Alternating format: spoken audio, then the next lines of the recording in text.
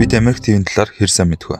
Өмнөд хойд туйл руугаа маш урт сунаж тогтсон төв ба голоороо тасрах шахуу байсныг хүмүүс 1914 онд нийт 81 км уртаар нэвтлэн хоёр хувааж өмнөх өмнөд болон хойд Америк гэж нэрлсэн ба энэ хоёр нь нийлээд Америк ТV гэх нэг асар том ТV-г бүрдүүлж байгаа юм. Нийт 42 сая 549 мянган км квадрат талбайтай ба 1 км квадрат газарт 21 хүн ноогдож дэлхийн нийт гадаргуун 8.3%, хуурай газрын 28.4%-ийг эзэлсэн том төв юм. Нийт хүн амын 14% буюу 911 сая хүн амтай бөгөөд эдгэр хүмүүс нь 35 тусгаар улсад хуваагдан амьдрна. Америк ТV-ийн баруун хэсэгт Кордильер болон Анди нурууд тогтсон байх бөгөөд нийтдээ 20 мянган км үргэлжилж дундаж өндөр нь 3500-аас 4000 м-ийн хооронд байхагаад хамгийн өндөр оргил нь 6194 м өндөртэй Маккинли оргил юм.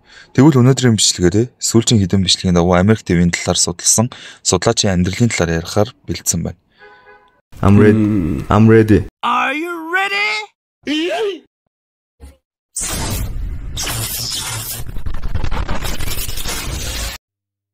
Хүслэг эдлийн худалдаачин бас судлаач аялагч Александр Маккензи 1764 онд Шотландын Stornoway-ийн ойролцоо дөрвөн хүүхэдтэй айлын 3 дахь хүүхэд болон мэндэлжээ. Stornoway хотыг ерөнхийдөө энд харагдаж байгаа Stonehenge-ийн чулуунуудаар бид нар маш сайн мэднэ. Түүний эцэг нь тухайн хоттой алдар нэртэй хүмүүс байсан боловч түүний их болох Луис Маккензи нь 1770 онд сэтгцийн гүн хямралд орон биеийн муцаар 1774 онд хорвоогийн мөнх бусыг үзүүлснээр тухайн ондоо эцэг Кенни Маккензи нь Нью-Йорк хотод өөрийн ах болох Джон Маккензитэй нэгтгэр шийдэж хоёр охиноо хотод нь үлдээгээд хоёр хүүгээ дагуулan Нью-Йорк хот руу нүүжээ. Нүүх явцад түүний нэг хүн сургуу алга болсноор Александр Маккензи аавынхаа хамт Нью-Йорк хотод хоёулах нь очсон бөгөөд тэднийг очих үед Америкт хувьсгал гарч 1776 онд түүний эцэг Кенни хааны армийн дислэгч болж 4 жил ажиллаад 1780 онд насан эзэлсэн ба залуу Александр Маккензи аав ах эгч нарынхаа халамжинд үлдсэн ч тохоо үед амьдралын байдал хүнд хэцүү байснаар түүнийг Канада руу явуулж тэнд нь сургуульд оруулж өгөөд хаяад явсан ба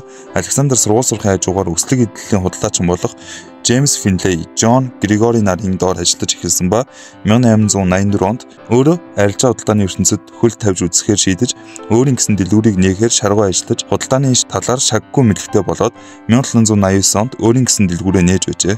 Түүний худалдааных нь замнал улс төрийн карьерийн талаар ярих юм бол энэ бичлэг маань бүтэн цагийн бичлэг болох болохоор одоо шууд бичлэгийн гол сэдв болох түүний аяллахын талаар цааш ярих болно.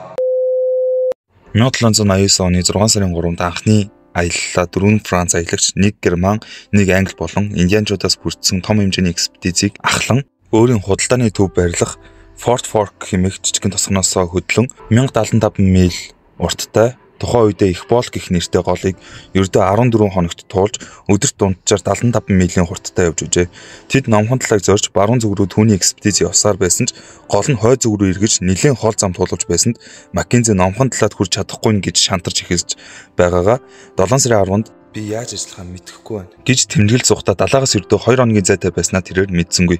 Өнөөх голын урсгал номхон талаа зутгаж байгаа гэж таамаглаж байсан ч Маккензи том нуур руу цутгадаг байж магадгүй гэж айх болсон боловч экспедицээ дагуулan явсаар л байв. Иймхүүд явсаар 7 сарын 12-нд нэгэн том усны дэргэд ирсэн бөгөөд цаг агаар хит ман манан ихтэй үзэгдэх орчин баг байсанд үнэхээр далайн эрэгт ирвүү эсвэл томхон нуурын эрэгт ирвүү гэдгээ Маккензи мэдэх аргагүй болоод байв. Тэрхүү газараа нийт 4 шөнийг өнгөрөөсний эцэст өнөөх том ус нь хойд мөсөн талаан эрэг болохыг олж мэдэж чадаагүй ба 7 сарын 16-нд зорьсон газараа хүрч чадаагүй гэж бодсон түүний экспедиц ихэлсэн газар руу буцан хөдөлсөн юм. Ийхүү 9 сарын 12-нд Fork Fork-од ирсэн түүний экспедиц нийт 3000 миль замыг 102 хоногт дуулжээ. Их Болк гэх голын нэр нь албан ёсны бус нэр байсан тул энэхүү том голыг судалсан Маккензигийн нэрээр нэрлэгдэх болж хожим нь өнөө цагт Маккензи гэх нэрээр тэмдэглэгдэж үлдсэн билээ. Энэхүү аяллаа үр дүнд Маккензи сэтгэл дундуур байдаг ба хуурай газраар 3000 миль хүнд хэцүү бэрхшээлтэй замыг туулсан аяллахын талаар тухайн үед бараг хинч ярьдаггүй байсан ч жоохон гомддог байсан биз. Тэгээ зогсохгүй номхон талаад хүрэх зорилгодоо хүрч чадаагүйтэй ч сэтгэл дундуур байдаг боловч түүнтэй хамт аялсан хүмүүс түүнийг маш хатуу ширүүн мэт боловч шудраг шулуун, цагаан арьс болон нутгийн уугуул гэж ялгалан гадуурхах зүйл огт байдаггүй. Хамт аялахад тун тааламжтай бөгөөд шийдэн бий төсвөр хатуучлалтай сайн хүн байсан химэн дуурцаадаг байна. Аяллаа явцад тэрээр нэг ч хүний амнаас ирсдэггүй бөгөөд Маккензиг хэр сайн удирдахч вэ гэдгийг харуулдаг юм. Маккензи дараагийн аяллаа аль эрт төлөвлөсөн байсан ба хоёр дахь аяллаа экспедицэд өмнө нь аялсан дөрвөн Францын хоёр дахь нь хамт гарсан юм. Түүнд өөрийн байршлаа тогтоох болон ажилд хийх нарийн багаж төхөөрөмж дутагдж байлаа. 1792 онд түүний хоёр дахь экспедиц аялалтаа гарахаар зэхэж эхэлсэн ба энэ үедээ түүнд өмнөх аялалтай адил зөвхөн луучин, секстант, хронометр томхон хэмжээтэй нэг нүдний дуран байсан ба тоног төхөөрөмж маш дутмаг байсан ч өмнөх алдаан дээрээ тулгуурлан номхон талаад хүрэх маш урт зам туулна гэдгээ мэдж байсан учраас анханасаа маш наривчлалтай тооцоолж эхэлсэн ба анх ихэлсэн газрын уртраг өргөргийг аялагч Кукийн тэмдэглэлтэй харьцуулж маш хянуур аяллаа эхлүүлсэн юм. Тэрээр Peace River буюу инх тайвны голын эхлүү өксөж тэндээсээ баруун эргийг даган номхон талаар хөтлөх гол олно гэж найджээ.